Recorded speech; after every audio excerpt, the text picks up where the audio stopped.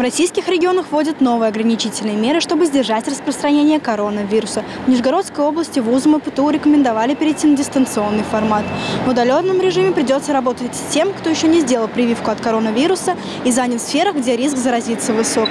Мы спросили у саровчан, какие меры против коронавируса, по их мнению, самые эффективные.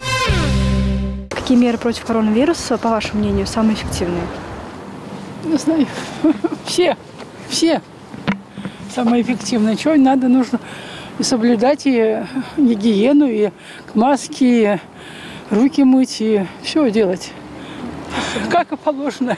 Вакцинация. Наверное, прививки. Все равно уменьшит степень заболеваемости. Обязательно надо делать прививку. Без прививки мы пропадем. Как все говорят, маски носить, расстояние, дистанцию соблюдать. Ну, наверное, для кого-то прививки, вакцинирование.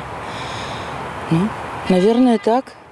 С- Личная гигиена, тоже как бы руки мыть. Ну, как чему нас учили. Вообще это профилактика. Прежде всего профилактика э, здоровья.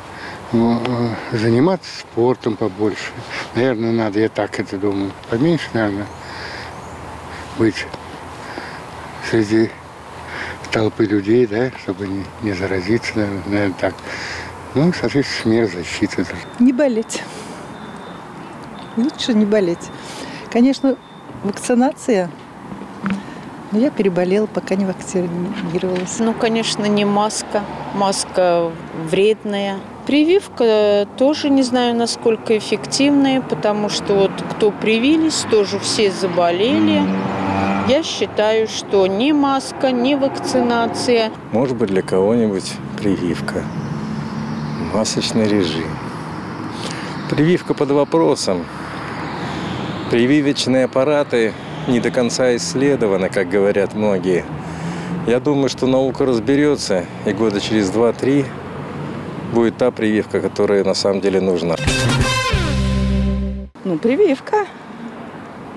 Что еще? И меры защиты. Маски, рукавички. Все. Это прививка. И себя защищать. В первую очередь маска, перчаточки, если по мере возможности. И обработка антибактериальными средствами.